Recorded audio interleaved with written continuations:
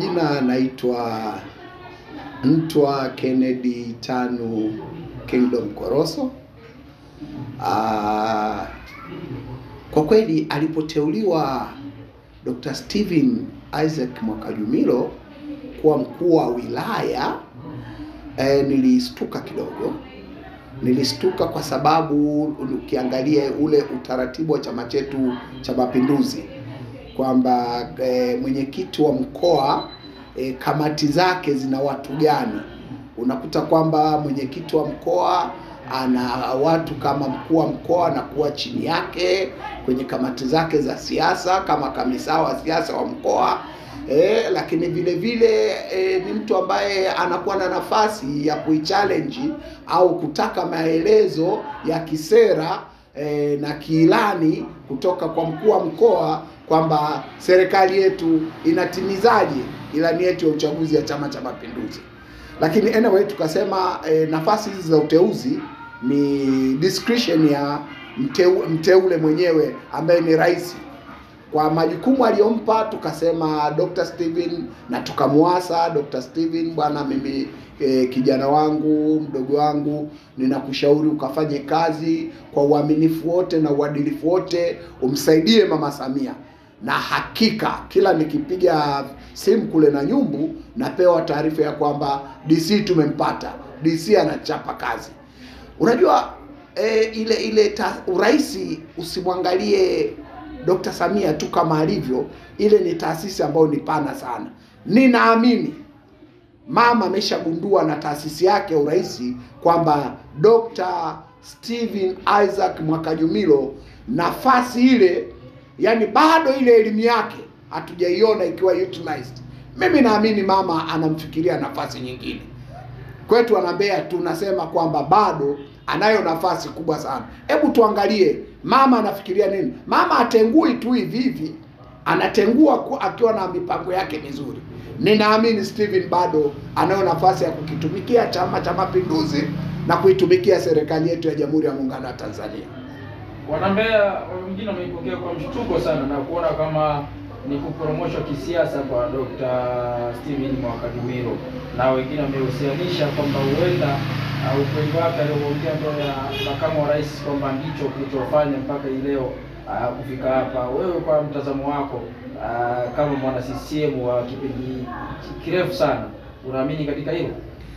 Uh, siamini katika hilo, na kama lipo basi ni kitendawili ambacho kinapaswa kujibiwa na serikali yenyewe. Kutoa challenge, kutoa challenge akumaanishi akumaanishi kwamba eh, eh, huyu mtu ni mbaya. Mimi ninaamini changamoto yoyote ni fursa. Siamini changamoto ni enmity, ni uadui.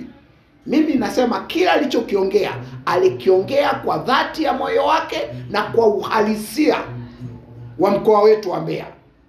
Sasa mimi si, siamini kwamba viongozi wetu wa juu wanataka wapewe peremende badala ya kupewa hata chungu tulionayo. Siamini, lakini hicho kitendawili ni serikali yenyewe itakayojibu. Mimi nasema unapoteuliwa na unapotenguliwa ni description alionayo yule mwenye mamlaka husika, lakini tunaangalia utilization ya elimu na ufanisi wa kazi wa yule kijana, kama hana mawaa, kwa sababu sijawahi kusikia Steven akiwa na kashfa yoyote. Sasa kana kama hana mawaa, basi mimi ninaamini serikali bado ina jicho la ziada, kuna sehemu inamwangalia. Kwa jina naitwa Chifu Alan Haigaga almaarufu Ndengera Lumanji. Kwa kweli mimi kwanza, baada ya kupata taarifa kwenye mitandao, lakini baadaye mtu wangu mmoja wa karibu akanirushia, nikaona kwenye magazeti eh, kwamba uteuzi umefanyika, uteuzi umefanyika eh, uteuzi umefanyika wa Mheshimiwa Christopher Magara ambaye pia ni kijana wangu huyo kuwa DC wa wilaya ya Nanyumbu. Nikitambua kabisa DC wa, wa, wa, wa, Nanyumbu alikuwa mwenyekiti wangu wa CCM hapa mkoa wa Mbeya. Rais ilimpendeza amsaidie kazi, uteuzi wake. Lakini sasa nataka kueleza kama mimi mwana Mbeya, mbaba wa Mbeya, mzee mzee wa Mbeya, kijana wangu mwandishi wa habari, kama mwana Mbeya, kama mwenyekiti wa CCM Mbeya mjini, ni kweli ni mwana maendeleo. Tumepita kwenye mapilipili vigumu, lakini ilipofika elfu mbili na kumi na elfu mbili na ishirini na mbili tukafanya uchaguzi tukamchagua Dr. Steven Mkajumbe au mwenyekiti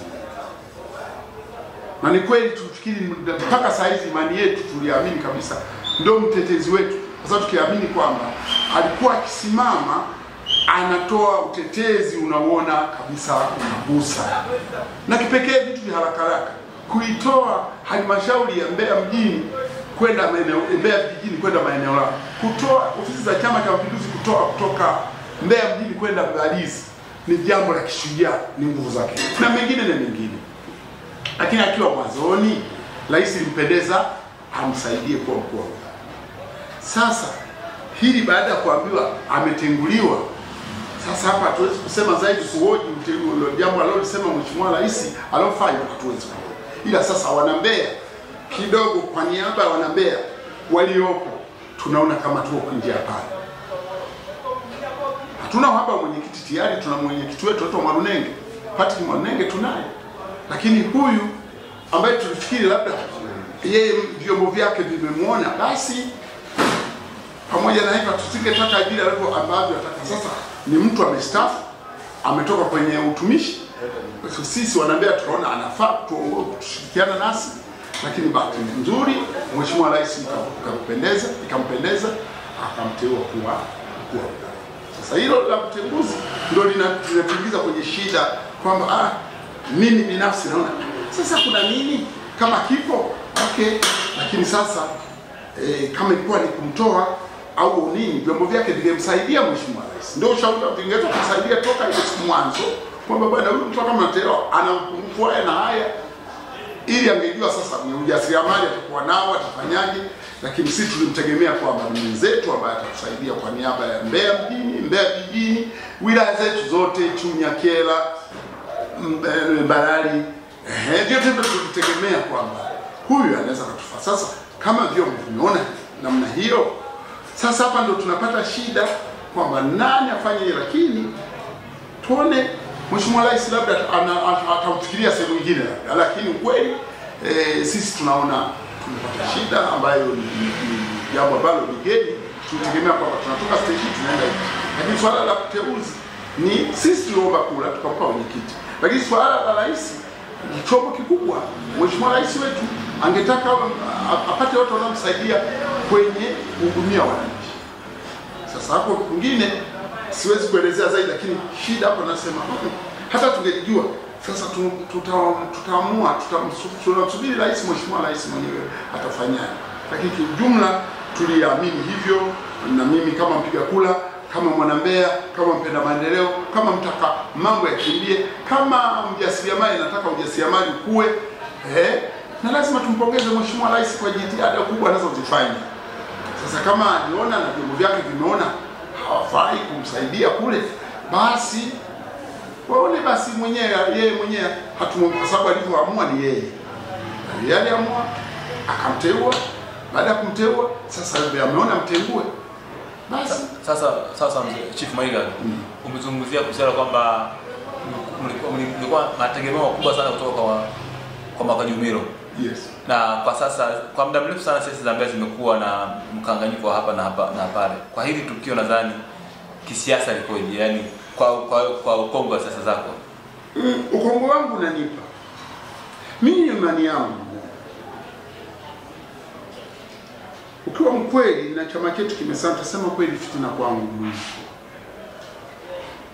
bado ni kama kitu fulani kinaingia, inaingia kama mafua fulani, ambapo tulikuwa tumetoka huko, kwamba tufanye harmonization, tukiheshimu mambo ya, ya mama alichokuja nacho Mheshimiwa Rais kwenye ala nne. Mbeya sasa ndio ilikuwa inajijenga kwamba eh, ala nne, lakini napata cha changamoto mihimili kama haisomani, ndio madhara yake haya.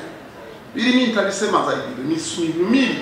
Sasa hapa tunaingizwa kwamba Chama cha Mapinduzi hatuna upishi, hatuna changamoto hapa kuhusu mbunge, hatuna hatuna hatuna kabisa. Hili nalisema hapa Tabazoni, mtaa watulia huu hapa kwangu mtaa watulia, lakini hizi siasa za Mbeya sasa zinatuingiza kwenye hali ambayo sio ambayo tulikuwa tumetoka kwenye mtu hapa mpaka turuhusu upinzani miaka vipindi viwili vikapita.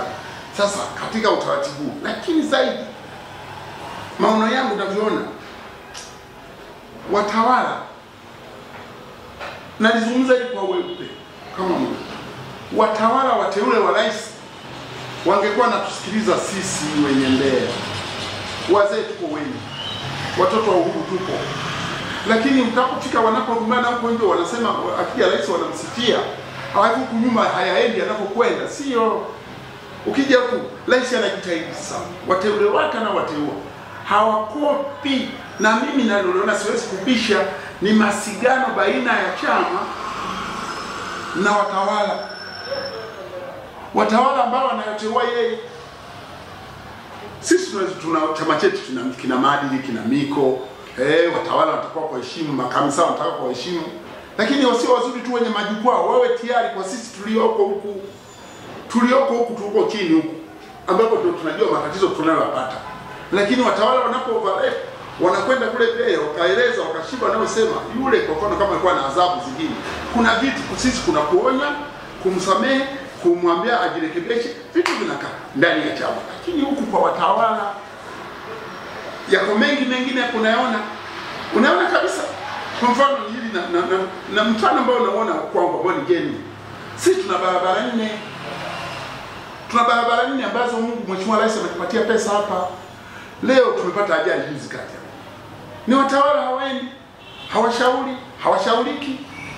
Kumbe kwa barabara nne, kwa mfano kutoka Kadege Nzogwe yenyewe ambapo kwa Bebela kwenda mpaka nini? Mpaka kufika Mbalizi, kandarasi alikuwa anzie pale na huku anzie Mlima wa Nyoka. Sasa watawala wake wateule wake kusema huwa hilo jambo linatota. Hili ndio nalo liona kwamba anawateula watu wake wakifika huku we, wanatumia nguvu zaidi.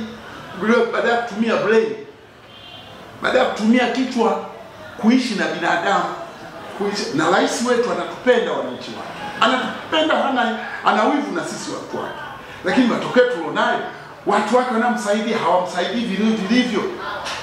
Mimi nazungumza kimkoa. Na kipindi kiwezekana hata kiwazi, na sasa nazungumza mkoa wangu wa Mbeya na wilaya yangu ya Mbeya, lakini kusemea kweli kabisa kabisa, wateule wake. Unaweza kufika pale akakwambia wako busy. Sasa yule sasa alikuwa anasema, sasa hatuna mtu anayesema, akachukiwa ah, mwaka jumle. Kwani kilichomgharimu mimi nachokiona kikubwa kusema ukweli. Sasa ni sehemu gani asemee ukweli?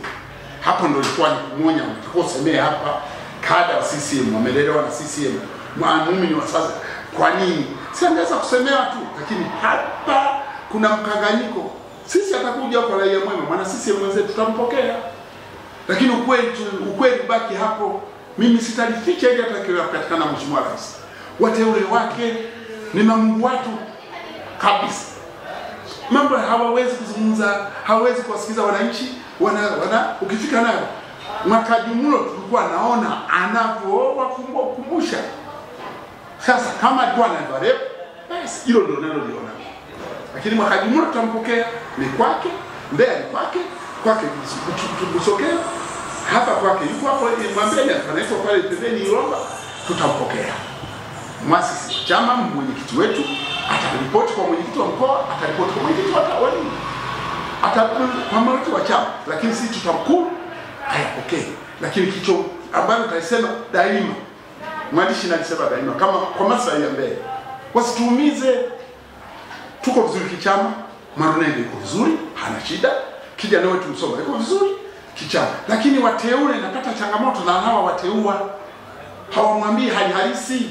Ndio maana migongano mnayakuta hapa ya umu, hawamwelezi ukweli. Sasa akionekana anasema kweli, huyo sio mwenzetu. Hapana, hapana, hilo mimi nalizungumza wazi. Kalisema hata mheshimiwa rais akija leo akaniambia mwembe hapa, wateule wake wanaji wanajipendekeza kwa rais hawamwambii ukweli. Sasa akionekana mtu anayesema ukweli ni adui. Hana mimi, hapana, mimi ni mwenyekiti wa CCM, nitasema kweli daima, mstaafu. Hili ndio lililofikisha makabila hapa. Wapinzani hawana chumba, ila mimi na lazima tupike huku ndani kwetu kwenye chama, tumwambie Mheshimiwa Rais wateule wake wasimdanganye, wao wanamfikishia hali halisi Mheshimiwa Rais, wao wanafikiria matatizo tulionayo, wananchi wana changamoto gani, lakini wenzetu wanazungumza kijumla. Yaani kilicho ah, mimi nitalisemea hilo kama mpiga kura, tulimpigia kula, sio mpiga, tuliowapigia kula wote. Kwa kutaka huyu ndugu yetu, na kilichomkwaza na kilichowakwaza wanasiasa ambao wanajijua wenyewe, msema kweli. Kwenye siasa hii, alisema mtu mmoja, sitaki kumtaja, ukiwa umenyoka kama rula hivi, sisi watakusimba, watakuongezea maya kuongezea, watakupaka mbaya, haya huyu haya, lakini umenyoka, yule alinyoka, kwambia bwana, hapana, mbona yeye mnafanya sio Wangapi wamesema zuri wewe.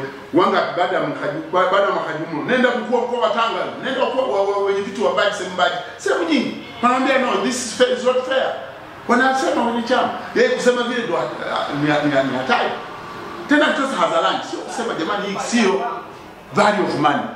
Mwaka mwaka jumulo ukweli uliomletea shida Dr. Steven ni kwamba mnyofu na sisi wananchi tungetaka mtu anayetusemea kwa hivyo, hatuna hatutaki kitu sisi. Na wenzetu, hatutaki. Hatutaki sisi, tunataka tunataka maendeleo, na mama yuko tayari kwa maendeleo, lakini ukisema value of money, yako mangapi tunayasikiliza waandishi wa habari, yako mengine unakuta yanayofanya vitu walikwenda kufanya kule tofauti. Mengi. Ewe sio juzi aliwahi kwenda Mara kule kwambia tuonyeshe ndugu wao, hamna. Mabilioni yamesoma, ni adui ndio kilichomletea shida mkagoto. Frankly speaking, nitasema kweli, sisi tulimtaka, tulimpenda, lile la kusema kweli, lakini analisemea wapi? Ndio vigezo na masharti kama vilikuwa ndio ndio ilikuwa kumkumbusha, tuna kamati zetu za maadili za chama, zilikuwa kumkumbusha usifanye hivi, usifanye hivi. Wanamwonya sasa, hizo hizo process zote hazijafanyika, mwandishi, zimefanyika. Nini? Oh, umeteuliwa haya, kufika kule ti mzinga. Wapi? Tairi ya mbele ni basi. Sikutengenezeana ajali, sikutengenezeana ajali. Eh. Yani yule wetu sisi alikuwa akiamka anaenda kusema. Sasa watu wanaambia na mzee waki, wakikupa tujuisi juisi, yule sio watu juisi, yule mzee? Amekuwa benki kwa mtumishi ana hela yake. Ana mali yake amelizika, na tulikubali kwamba weka tutoa. Alikuwa mneki ama miaka mitano, na tukaona huyo anakijua chama, tenda naye lakini kutengenezewa watengenezewa matairi ya mbali basi ya mlima nyoka gari dondoki sio sio mzee, sio sio. katengenezewa pancha hii. Afadhali pancha taziba wale ni basti. Hii sasa namna gani wewe unapotengenezea mlima mlima wewe mlima mwenyewe unatengenezea basi tairi sunuru tatu Kule katengenezewa wala sio na nyumbu hata kidogo. Kule wakampa na uchifu. Lakini hebu tuzungumze ukweli. Watumishi wa nchi na mimi nitasema tena ulikipengele watumishi wa nchi watusaidie, tunawapenda sana, tuwezi kufanya bila sisi. Tuna watoto wetu tumesomesha, mtu wa kusemea alikuwa ni yule watoto wetu. Eh, labda mimi niseme hivi, mimi sisi viongozi kama chifu tuna na sisi tuna mtizamo wetu. Mimi nina mtizamo wangu um,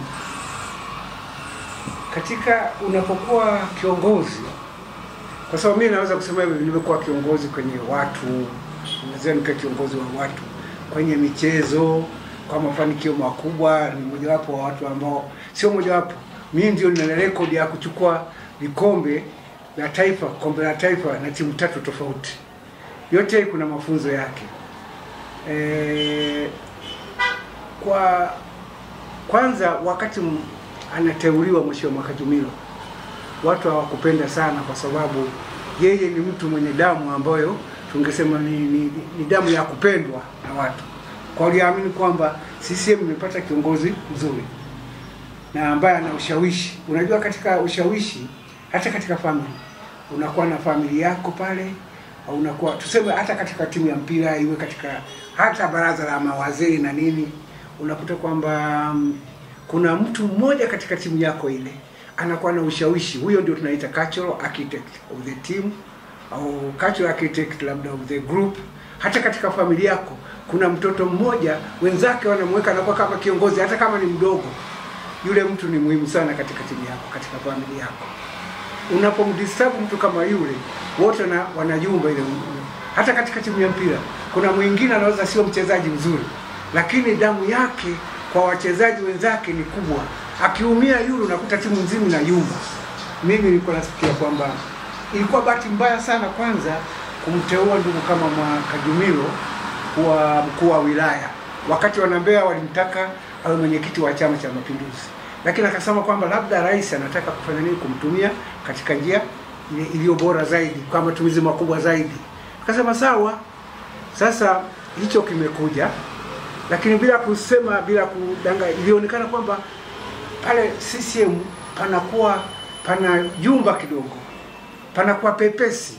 Yule alikuwa ni mtu kama nilivyokuwa the cultural architect wa nini wa timu ya wana CCM katika mkoa wa Mbeya, lakini rais alionekana anataka kumtumia vizuri zaidi, na tumekuwa na na jinsi ilivyokwenda, watu walikuwa na wasiwasi sana, kwa sababu hapa alimekuwepo Zambi akawa mwenyekiti wa mkoa wa Mbeya ba, alafu ba, akawa na mwenye akawa na mkuu wa mkoa wa Lindi, lakini mwaka Jumilo akachukuliwa kuwa mkuu wa wilaya na cheo chake wakahama, wakaenda haraka sana kukijaza nafasi. Kwa hiyo pale watu wengi tukasema what is the problem, tatizo ni nini?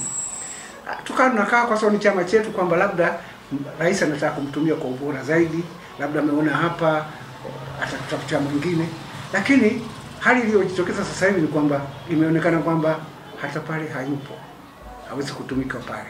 Na yuko barabarani, lakini najua kwamba huyu mtu alichaguliwa na watu. Wameondo, ameondolewa, ndio wanakwenda sasa kurelate kwamba Mwakajumilo labda ametolewa kwa sababu alizungumzia mapungufu yaliyojitokeza katika miradi ya cha, ya serikali ambayo inaongozwa na Chama cha Mapinduzi. Na kweli kuna miradi mikubwa imeanza toka hizi ya Kikwete, wanaizungumza haitekelezwi, wanaizungumza haitekelezwi. Sasa kuzungumzia ile na yule, hicho kitu kimewagusa, kimewagusa, wanaambia kwamba si tumemchagua sisi atutumikie hapa, rais anamhitaji akamtumie, alafu inaonekana kwamba hawezi kumtumia. Sasa ndio yuko barabarani sasa. Sasa ule uzito wa chama unaweza kusema sio wa mtu mmoja, lakini there must be a cultural architect katika kila mahala, katika familia yoyote ile, hata baraza la rais mwenyewe kuna mtu mwingine akiuangalia mle katika timu yake, labda ukichukua rais mwenyewe, makamu wa rais, ukachukua prime minister, ukachukua deputy prime minister, unakuta kuna mtu ambaye anapokuwepo pale, ile nini, ile baraza lake linaonekana lina nguvu. Hicho kitu mimi kimenistua kidogo, kwa kwamba what are we going to do katika mwaka kesho, wakati wa kampeni. Je, anaweza kwenda mtu kama ma, ma, nani Mwakajumilo akasaidia kampeni kwenye kampeni za rais kama haitakuwepo. Sisemi kwamba ni mwenye, lakini ule ushawishi wake uliokuwa nao sasa, inaonekana labda serikali au inaonekana rais anaona kwamba afai sasa hata simama kwenye kampeni za mwaka kesho. Hiyo ndio mtizamo wangu mimi kwamba una kina, ameondoka mtu katika chama, ameondoka amemuondoa mtu ambaye was the cultural architect of the party, alafu akawa na nini na alionekana kwamba kwa kwa Mbeya hii ndio mtu angeweza kutusaidia kwenye kampeni za mwaka kesho, lakini kama rais amemwona hivyo hivyo, sawa, mimi sina neno. Uh, kimsingi eh, Dr. Mwakajumilo ni mtu ambaye ninamfahamu vizuri sana eh, ameshawahi kuwa mneki, lakini pia Mwakajumilo tuliwahi kushindana naye kwenye uchaguzi mojawapo hapa, japokuwa nilimshinda, lakini ni mtu makini na ni mtu mvumilivu sana. Uh, Dr. Mwakajumilo ni mtu anayependa ukweli na mambo yaliyonyoka, si mtu wa kujificha kwenye unafiki, na ninavyomwelewa mimi ana utu na uchu wa maendeleo halisi. E, si mtu wa kurembaremba au kupambapamba yale ambayo hayapambiki. Mwakajumilo akisema moja huwa hasemi ni tano, anasema moja ni moja. Koleo anaitaga koleo. Yawezekana hii tabia kuna wengine nawakera, wengine nawapendeza. Mimi kama mimi binafsi huwa inanifurahisha kwa sababu ndo nilivyoumbwa kwamba huwa napenda fact kwa fact na sipendi vitu vya kukatakata kona. Lakini Dr. Mwakajumilo toka alivyoingia kwenye kugombea umwenyekiti wa Chama cha Mapinduzi mkoa wa Mbeya, mimi nilikuwa mmoja wa wadau zake na nilishiriki kampeni za kuhakikisha anapita na kushinda, na alishinda kwa kishindo, na ni mtu ambaye katika utendaji wake mimi binafsi alikuwa ananifurahisha kwa sababu alikuwa hakwepeshi eh, kusema yale ambayo anaona ni si sahihi eh, kimaendeleo kwenye kwenye kwenye mkoa wake. Ni mtu ambaye alikuwa ananyoka tu kwamba hiki si sawa, hiki si sawa. Kwa hiyo mimi nimchukulie kwamba Dr. Mwakajumilo ni mtu mkweli, mwazi, mpenda maendeleo na asiyependa kuficha ficha na hapendi kuishi kinafiki kinafiki. uh, kwa mimi, kwa mtazamo wangu, kwa mwenendo wake lakini na baadhi ya matukio yaliyokuja kumtukia kutokana na eh, harakati zake za kuwakilisha Mbeya inaendelea. Eh, moja ya swala ambalo niliwaza mimi eh, sikutegemea sana kutenguliwa eh, na hasa baada ya kupita miezi mitatu minne, sikutegemea kama tena Mwakajumilo angeweza kutenguliwa kwenye wilaya, sikutegemea hata kidogo, lakini wanambea wengi walikuwa wanaongea kwa maneno ya chini chini kwamba Mwakajumilo Jumilo tunategemea baada ya wiki mbili miezi miwili lazima atatenguliwa tu. Sasa naona yametimia maneno yao, na mmoja alikuwa anampigia simu mchana anani, ananiambia hilo, nimeona rafiki yako kimetokea kilicho kilicho kilicho- kilichotabiriwa. Kwa hiyo ni wanambea walikuwa wanasema, sio maneno yangu, kwamba asingeweza kusurvive au kukaa kwa muda wa kutosha kwenye ukoo wa wilaya, na kimetokea. Uh, kuteuliwa na kutenguliwa ni mara nyingi ni eh, ni desire ya mtenguaji na mteuaji. Eh, na ina ni furaha yake yeye kwamba ni maamuzi yake, anaweza kama akakuteua leo na akakufuta baada ya dakika tano. Eh, lakini si jepesi vile kama ambavyo ni e, ni maamuzi na mapenzi ya mteuaji na mtenguaji. Ukishateua e, kutengua kidogo inaleta mtafaruku, hasa pale muda wa unapokwenda kwamba mtu anafanya kazi tunaziona, halafu anatenguliwa. E, ninaona ninamwona Mwakajumilo akisita kurudi Mbeya na ninamwona Mwakajumilo ambaye wana Mbeya wana hamu ya kumpokea. Ikiwezekana, kwa mfano mimi nataka nimpokee, nataka nijue anakuja lini, nina hamu ya kumpokea, nimuulize mwaka Jumilo kuna nini juu yako wewe mtu? Kwamba ulikuwa mwenyekiti wa Chama cha Mapinduzi mkoa, umekwenda umeteuliwa kwa namna ambayo tunaita kwenye Kiingereza tunasema anonymously, yaani umekwenda kwa njia ambayo haieleweki vizuri, umekwenda kuwa mkuu wa wilaya, lakini uchaguzi umeendelea wakati haupo kwenye mkoa wako uliokuwa mwenyekiti, na ukutuaga Mwakajumilo, lazima tumhoja ya maswali, lakini leo tunaambiwa hata huo ukuu wilaya umetenguliwa, lazima Mwakajumilo tukae naye tumuulize, na lazima tumpokee kama mwenzetu. Mimi binafsi namwonea huruma kwa sababu kitendo ambacho kimetokea si kizuri sana kwa mwenzetu e, ni tuseme ni, ni, ni, ni downfall ni anguko kwa Mwakajumilo. Sasa ili anguko lazima rafiki zake ndugu zake tulipokee ili asidondoke kwa nguvu sana tu, tu, tunam, tunamwatamia tunaweka sponji ili tumpokee angu, angukie mahali ambapo hapana jiwe wala kokoto ili asiumie sana kisaikolojia kimaisha ya kawaida na kimahusiano. Lakini kimsingi Mwakajumilo eh, ameathirika kisaikolojia sana, lakini wanambea kama wanambea wengi naona wamestuka. Rafiki zangu wengi nikijadiliana nao naona wanashangaa Wa- wengine wanasema sasa Mwakajumilo eh, ka- ka- kawekewa kawekewa hii ni basti ya tairi sio pancha tena eh, kwamba kaondolewa kwenye wenyekiti kapelekwa ili wenyekiti huko aondolewe, baada ya wenyekiti arudishwe. Sasa hii ndio uchambuzi halisi wa wanambea kwamba aliondolewa kwenda kwenye wilaya ili kusudi huku ufanyike uchaguzi abadilishwe mtu, lakini huko kwa muda kidogo ili arudishwe akiwa ameondolewa. Kwa hiyo ni kama vile alitegeshwa kuwa mkuu wa wilaya ili asirudi tena kwa kiongozi wa chama. Ndio huyu sasa Mwakajumilo tuko naye, lakini mategemeo yangu si maneno yangu mategemeo yangu si maneno yangu. Yawezekana ameandaliwa eh, nafasi kubwa zaidi ya hii ambayo alikuwa nayo ya wilaya. Yawezekana mwaka jumla sasa leo chama mkoa kiwape miezi mitatu wilaya ya Mbeya DC mwe kwenu. Hamwezi kulazimisha kuomba wilaya ya serikali wakati mnaishi. Chama cha Mapinduzi wilaya ya Mbeya mjini, Mbeya, Mbeya vijijini iko sabasaba Mbeya, Mbeya mjini kule, lakini ninyi mko vijijini huko mnaomba wilaya ya kiserikali kabla chama chenye nguvu chenye kuisimamia serikali hakijahama. Sasa tunawaagiza Mbeya vijijini mshirikiane kuhakikisha ndani ya miezi mitatu ofisi imeondoka kule, na kama mtaondoka tutawapa summons.